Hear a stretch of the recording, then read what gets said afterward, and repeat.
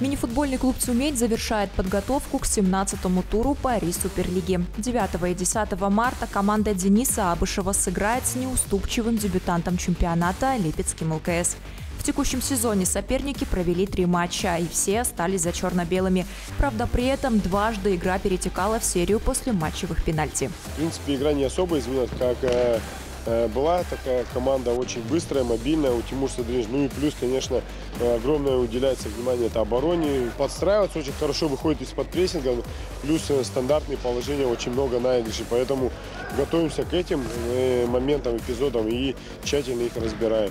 С ЛКС не сыграют Азиз Муждаков и Максим Емельянов. Георгий Гафтадзе пропустит первую встречу из-за дисквалификации. Зато в матчах с липецкой командой за Тюмень может дебютировать Карлос Аугуста. 26-летний игрок перебрался в Сибирь из клуба Тубарао Футзал. В прошлом году он вошел в десятку лучших бомбардиров бразильского чемпионата. Контракт рассчитан на полтора года с возможностью продления еще на год. Ну, для профессионального игрока всегда очень приятно получить предложение поиграть в другом чемпионате, в другой стране. А, ну, наверняка это может говорить о том, что игрок неплохой. Я хотел бы в это верить. А, и, конечно, когда я получил это хорошее предложение от хорошего клуба, от хорошего чемпионата, а, конечно, я согласился.